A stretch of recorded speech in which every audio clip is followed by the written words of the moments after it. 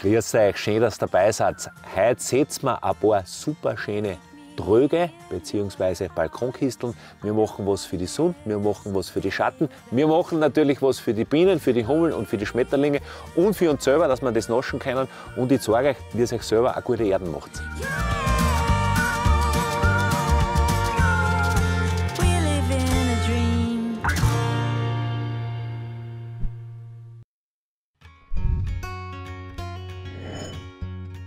Ich würde sagen, wir machen zuerst einen Topf für die Sonne. Das kann auch sehr sonnig sein und heiß. Viele haben wir vielleicht so einen Balkon, wo den ganzen Tag die Sonne hinscheint. Ideal oder irgendwo ein Eckel zum Haus zu haben. Man hat natürlich eine riesen Auswahl an Trögen. Da gibt es ja heute mittlerweile ja, ein schier endloses Sortiment. Ich habe jetzt einfach einmal drei so verschiedene hergestellt. Ich werde den, glaube ich, nehmen, weil er eine gewisse Tiefe hat. Und dann werden wir noch ein Spezial setzen da, weil der auch eine gute Tiefe hat. Da habe ich schon ein bisschen was im Kopf. Und in dem Fall werden wir uns das Substrat einmal nicht selber mischen, sondern auf ein gekauftes zurückgreifen. Müsst einfach darauf achten, wenn ihr ein Substrat kauft. Erstens dorffrei war ganz wichtig, dass Bio gemacht ist, war super natürlich. Und vor allem, dass es wirklich ein Substrat ist für Tröge, weil die haben einfach eine bessere Struktur, als wenn es eine Blumenerde oder sowas nehmt. Das funktioniert nicht gut. Und natürlich ganz wichtig, es müsst immer schauen, dass diese Tröge nach unten entwässern können, damit da kein, kein Wasser sich staut drinnen, damit das ausrinnt.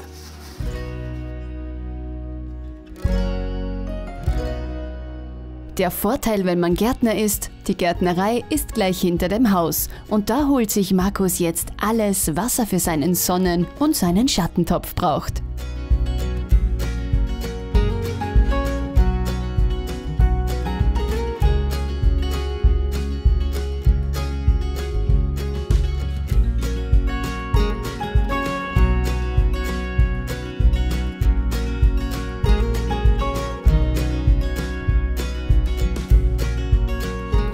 Natürlich immer ein Thema, werden viel wissen, man soll ja unten irgendwas reingeben, damit der Trog drainagiert ist, sozusagen, damit keine Nässe da irgendwie drinnen stehen bleibt.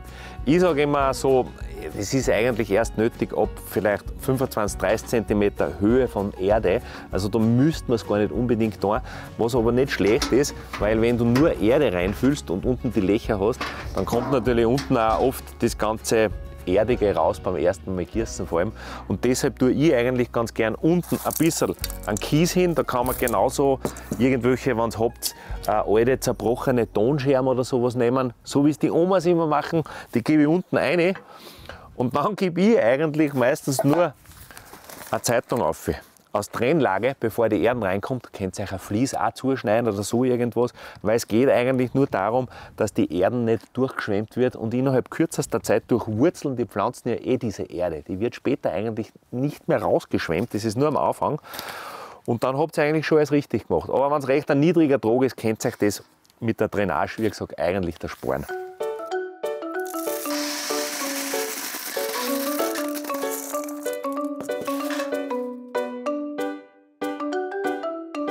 Wenn ihr eine gute Erden nehmt, dann kennt man das daran, dass da eigentlich auch immer ein Anteil an mineralischen Stoffen drinnen ist. Perlit, Bledon, solche Sachen sind da drinnen. Das sind so eben, in dem Fall sind es so weiße kleine Steindeln und das bringt der Luft eine in die Erden. Das war wichtig, dass es nicht einfach irgendwie so eine zu sehr vernässende ähm, Erden ist. Das funktioniert dann langfristig nicht gut.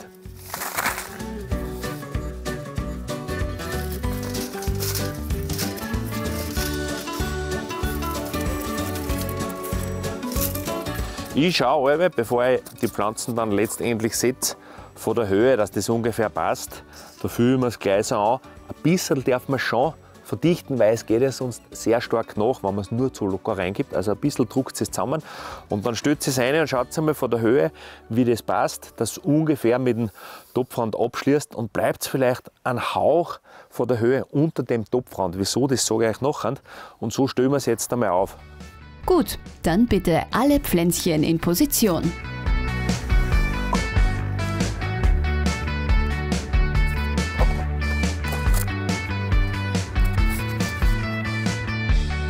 So, jetzt haben wir die einmal aufgestellt. da gibt es immer verschiedene Philosophien. Man kann einen Topf sehr dicht bepflanzen, dann ist es blumenwiesenartig. Es könnte natürlich auch weniger Pflanzen reingeben, dann entwickelt sich jede Pflanze für sich ein bisschen buschiger, ist Geschmackssache. Wenn man viel reinsetzt, dann geht es einfach schneller, es schaut gleich schneller noch was aus. Und je nachdem, wie groß der Trog ist, umso mehr verschiedene ihr natürlich einsetzen.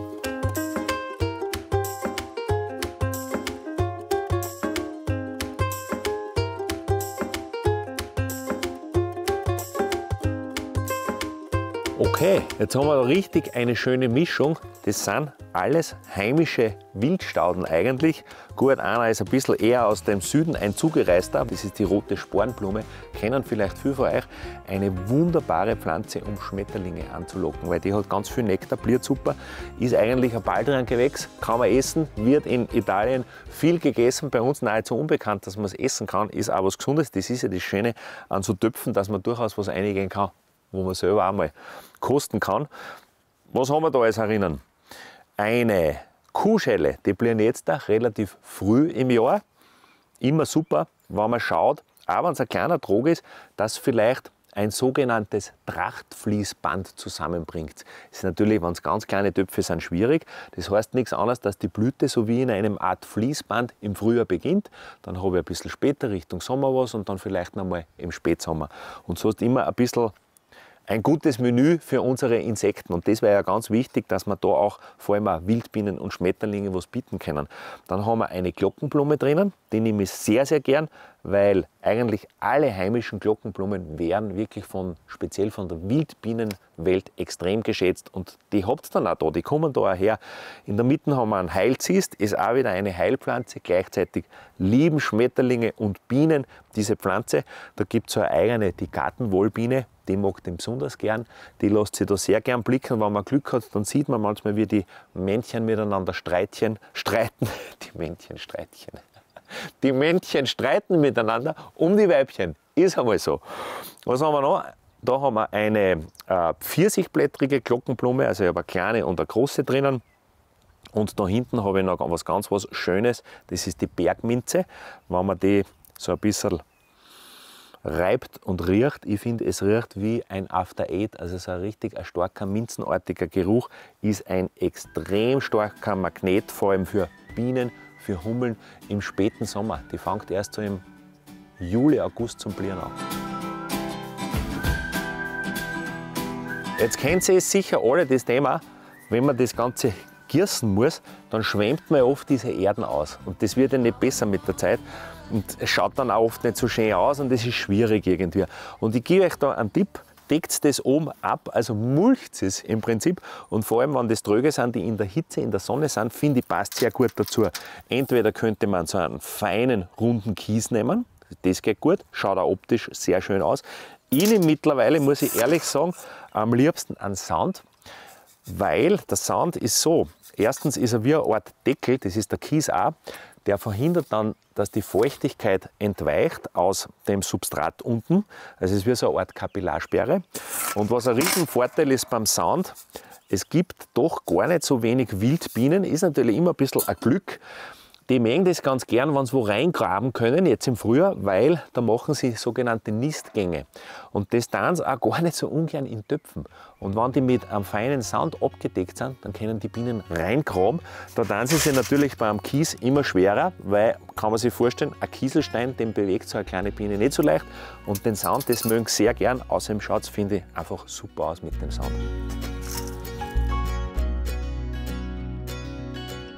Ich muss sagen, ich freue mich schon, wenn das so richtig in Fahrt kommt und zum Blühen anfängt.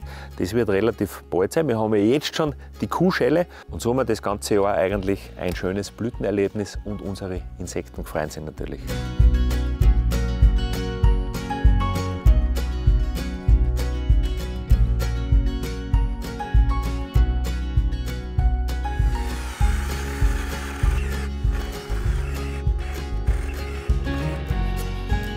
Und weil ich schon so in Fahrt bin mit den Töpfen für die Sonne, mache ich da noch ganz einen schnellen, einen Spezialtopf.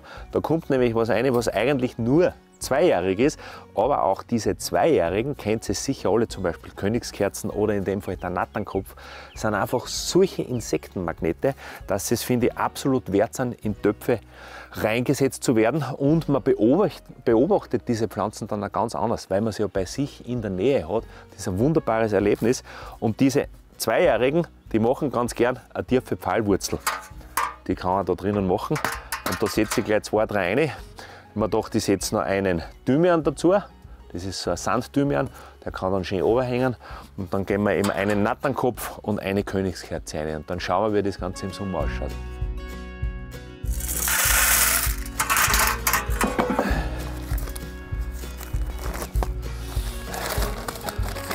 Eine Zeitung ist ja nicht immer gut, aber für das ist ja jede Zeitung gut.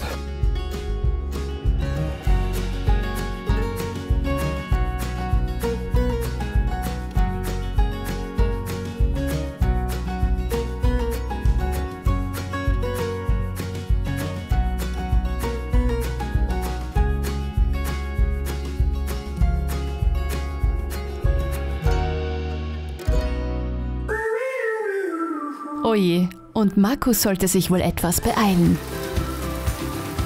Meine Güte, ein bisschen Regen, ein bisschen Graupelschauer, nur die Harten kommen in den Garten. Ist einmal so.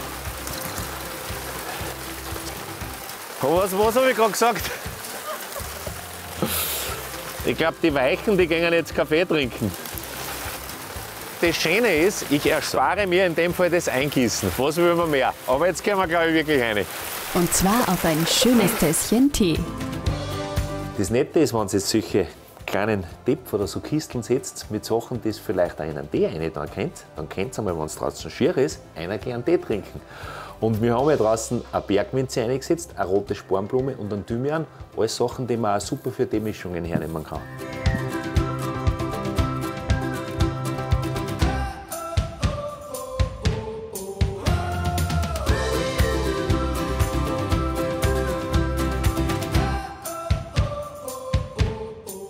Und nach kurzer Zeit sind auch alle wieder trockengelegt. Und die Frisur sitzt. So, den Sonnetopf haben wir fertig. Jetzt gibt es ein bisschen eine Abwechslung. Jetzt macht euch die Cosi eine schöne, natürliche Deko und nachher machen wir den Topf für den Schatten. Und Überraschung, bei Cosi scheint die Sonne.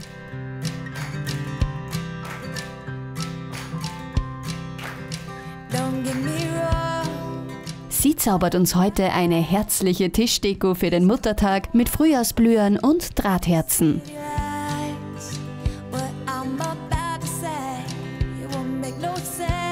Wie heißt so schön? Ohne Moos nix los. Deshalb macht Cosi ihren Kübel auch randvoll.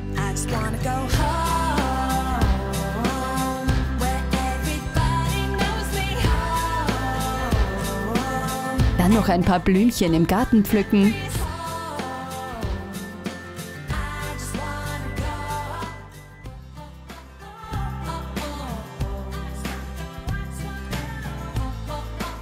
Jetzt einfach ein schönes Brett mit Farbe streichen.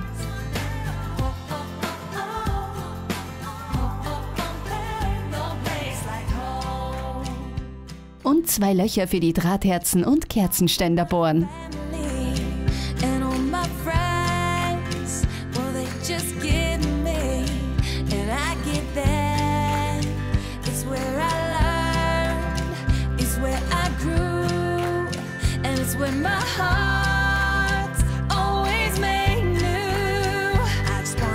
Sogar für kleine Serviettenringe reicht das Material.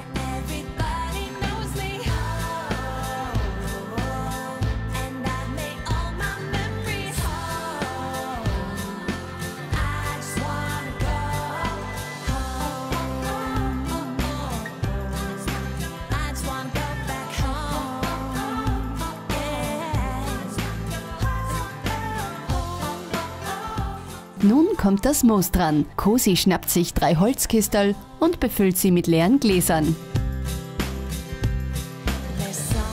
Die Herzen kommen in Steckschwämme. Jetzt die Gläser mit Wasser befüllen, das Moos drüber drapieren und mit herrlichen Frühjahrsblühen dekorieren.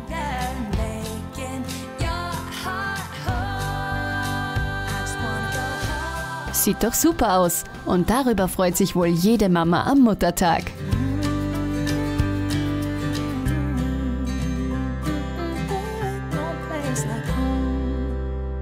Aber jetzt zurück zu Markus. Seine Mission Mission Possible. Ihr könnt euch natürlich die Erde auch selber mischen. Da haben viele ein bisschen einen Respekt davor, ist aber eigentlich nicht wirklich schwierig. Man kann auch viel experimentieren. Es gibt da jetzt kein ähm, allgemeingültiges Über-Drüber-Rezept, aber sehr, sehr gute Erfahrungen habe ich mit Kompost gemacht, also mit gut abgerottetem, wirklich einen schön fertigen schwarzen Kompost, weil der hat viele Eigenschaften, was eben speziell auch Pflanzen, die eher einen hohen Nährstoffbedarf haben, sehr schätzen. Kompost speichert ja sehr, sehr gut Feuchtigkeit. Das heißt, wenn man gierst, nimmt er das Wasser super auf und gibt es dann gemütlich an die Pflanzen ab. Und Kompost ist natürlich ein absolut lebendiges Material. Es sind ja Milliarden von Kleinstlebewesen da drinnen. Das heißt, es ist belebte Materie und das schätzen Pflanzen sehr, wenn sie sowas bei den Wurzeln haben und nicht irgendwas Totes oder Steriles. Es ist das einzige Thema beim Kompost, was nicht schlecht ist, wenn man ein bisschen an Sand dazu mischt, weil dann wird er, dann neigt er nicht so sehr zum Vernässen. Sagen wir es einmal so. Es kennt aber auch vielleicht, wenn ihr daheim einen Zirkelsplit habt oder irgendwelche alten Zirkel, die könnt ihr zusammenhauen und auch dazu mischen. Also da kann man ruhig ein bisschen experimentieren und das funktioniert wirklich gut. Na dann, auf zum hauseigenen Kompost.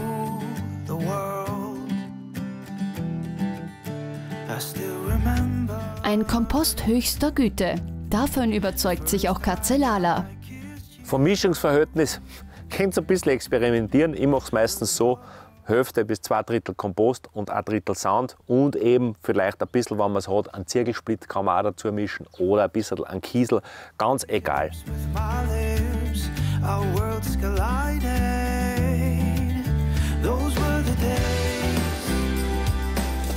with Ah, schau, kriegst du sowas auf, so ein Viech? Ja klar. Ist drauf. Und der wird auch einfach mit reingemischt.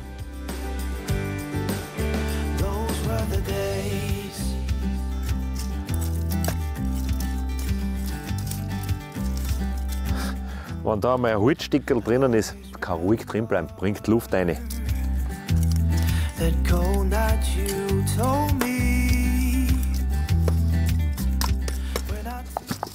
Okay. Also der soll ja halbschattig, schattig, kann auch ein bisschen kühl sein, überhaupt kein Problem.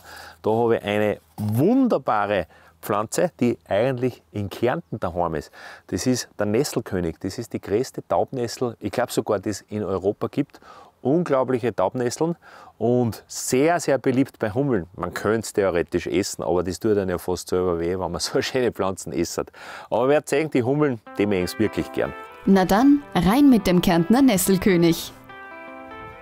Ich mag einfach unsere Schlüsselblumen so gern. Das ist die Waldschlüsselblume, sagt eh schon der Name. Die fühlt sich wohl im Wald, wo es wirklich ein bisschen schattiger ist und feuchter ist. Da taugt sie. Sie bliert sehr lang, deshalb mag ich es auch so gern und wird von Insekten, sowohl eben von Schmetterlingen übrigens auch ganz gern, weil die holen sie mit einem langen Rüssel da unten den Nektar raus, den saugen sie. Aber auch irgendwelche langrüsseligen Wildbienen, Pelzbienen, die Frühlingspelzbiene, die fliegt ja jetzt um die Zeit, die könnt super mit unserer Schlüsselblume bedienen.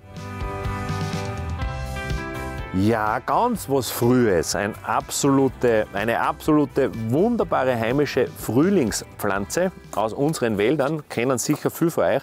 Das ist das Leberblümchen. Ist jetzt schon ein bisschen am Verblieren. Erstens finde ich einfach, dass das Stimmung bringt zu Pflanzen, weil das so eine fröhliche Farbe ist, dieses Blitzblau. Und ja, es ist eine total robuste Pflanze, die hält wirklich was aus. Und selbst wenn es verbliert ist, dann entfalten sie diese so ein bisschen herzförmigen Blätter, sind die wirklich auch eine hohe Zierde über das ganze Jahr. Ah, da habe ich noch was richtig was Schönes. Wäre übrigens wieder was Essbares. Das ist die große Sternmiere. Das verwandt übrigens mit der Vogelmiere, sind beides Stellarien. Kann man beide essen, ist eine Nahrungspflanze, ganz mild vom Geschmack. Könnte man zum Beispiel aus Deko einmal auf irgendeinen Salat geben oder in eine Kräuterbutter dazu. Manche sagen, die gute Köche oder Köchinnen sind.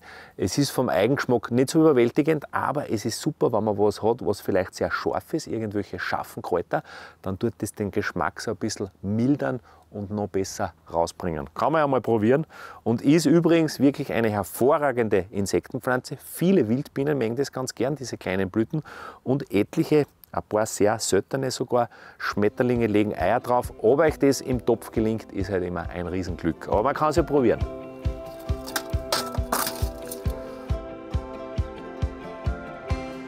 Jetzt geben wir noch was Schönes dazu, wirklich für den Sommer. Dann haben wir so eigentlich ziemlich früh beginnend mit den Leberblümchen, Schlüsselblumen, dann kann man die Sternmieren.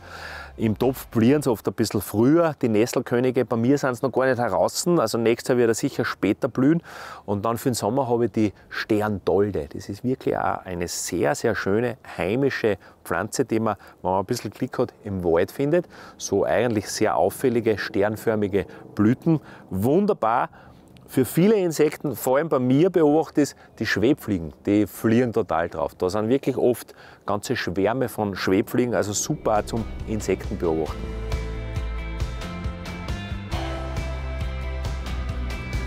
Jetzt gebe ich noch was Spezielles ein, also für den Sommer rein eine Glockenblume. Und zwar, das ist auch wenigen bekannt, es gibt Glockenblumen, die wollen es eher schattig, weil die meisten wollen ja doch sonnig, eher sogar trocken vom Boden her.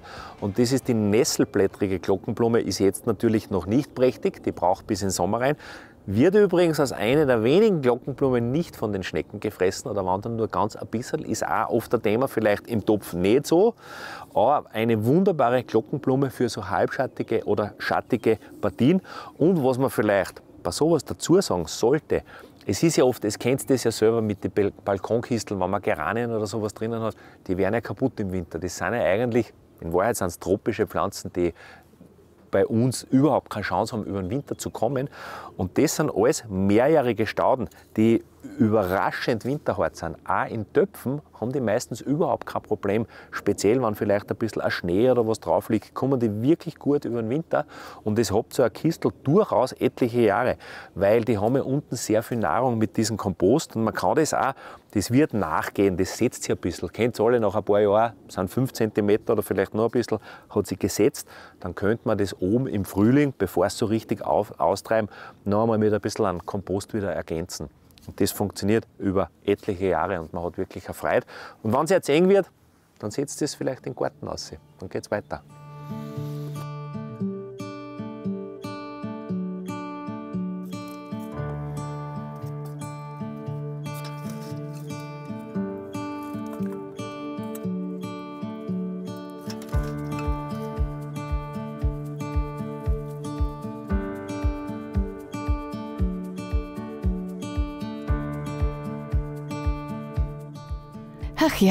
Und so sieht das in ein paar Wochen aus.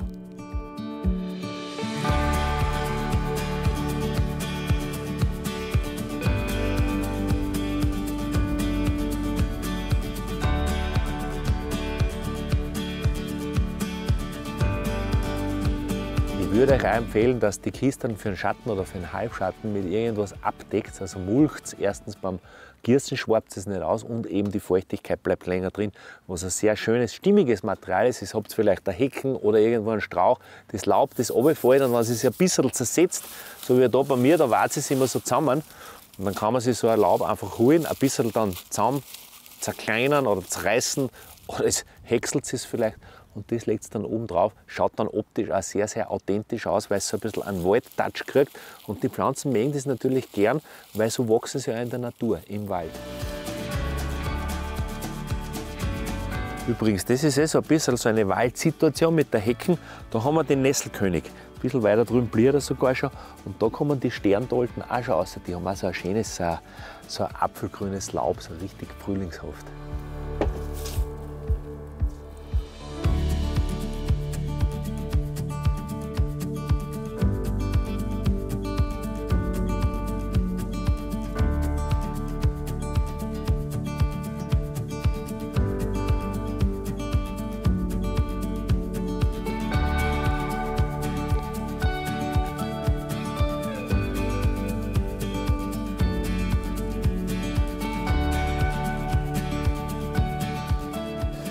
Das wird noch ein bisschen niedersitzen mit der Zeit.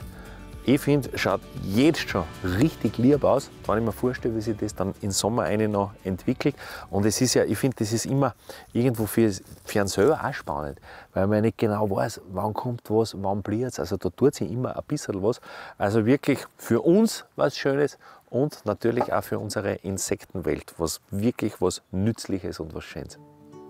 Zum Abschluss macht man noch so ein, ein ganz ein kleines Kistel. Das ist eigentlich ein Holzkistel und da setzt man sehr, sehr trockenheitsresistente Pflanzen rein. Erstens schaut es lieb aus, das bliert sogar und die schaffen das wirklich auch in so einem kleinen Kistel. Müsst aber die richtigen Pflanzen nehmen.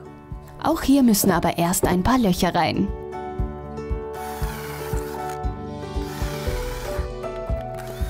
Wir nehmen da, kennen sicher viele von euch, sogenannte Mauerpfeffer heißen die. Das sind, man sieht das eh gleich, die haben so ein dickes, verdicktes Laub.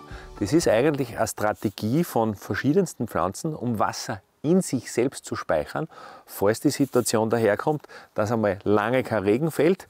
Und die kommen so wirklich lange über Trocken, Trockenperioden. Müsst normalerweise auch nicht gießen, wenn das draußen steht und hin und wieder angeregnet wird, wie jetzt gerade wieder. Dann brauchen die eigentlich wirklich nicht gossen werden. Ist sogar eher für die Pflanzen oft ein Problem, wenn sie regelmäßig gossen werden. Die brauchen das nicht. Ich habe die noch in kleinere Gefäße sogar schon probiert, diese scharfen Mauerpfeffer in dem Fall. Und das ist unglaublich auch in welcher Fülle die dann zu blühen beginnen. Und da könnt ihr zum Beispiel auch dazu kombinieren scharfer Mauerpfeffer, weißer Mauerpfeffer, schaut ein bisschen anders aus vom Laub. Und dann gibt es noch die Trip Madame, auch eine spannende Pflanzen, die kann man nämlich auch in der Küche wieder ganz vielseitig verwenden. Also da kann man sich schon wieder eine richtig eine schöne eigene kleine Welt basteln, wo das werdet ihr wirklich beobachten, auch sehr, sehr viele Wildbienen ganz begierig drauf sind auf diese klitzekleinen Blüten.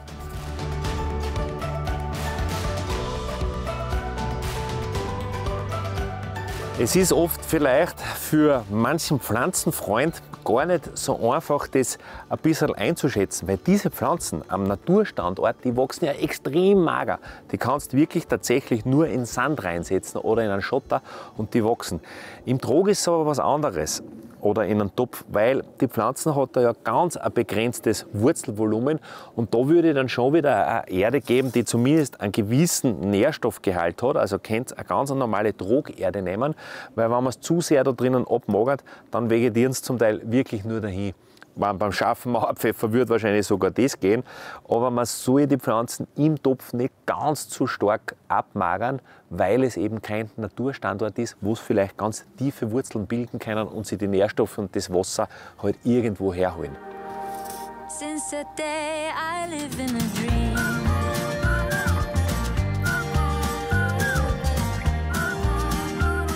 Jetzt werde ich dann nur mal ein bisschen an Mulch draufgeben mit kleinem Kiesel und dann habe ich eine schöne Stö. Ich hoffe, es hat euch vielleicht ein bisschen inspiriert, was man alles wirklich an schönen heimischen Pflanzen in verschiedenste Töpfe, aber auch in Balkonkisteln einsetzen kann. Weil so zieht es wirklich das Leben an und es ist für einen selber einfach, ich sage oft so richtig wie ein kleines Kino zu Hause. Also, viert euch, bis zum nächsten Mal.